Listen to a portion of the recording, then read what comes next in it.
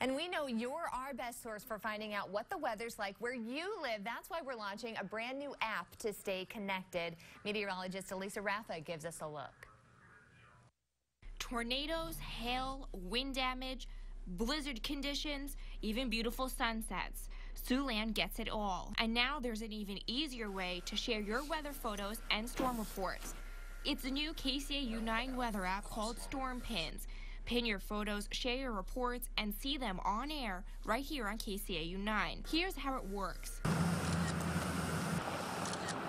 Take a picture of your weather scene.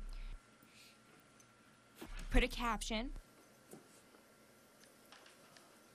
Select your location and weather pin. And upload. Then you can see your photo pinned to the map and on the feed.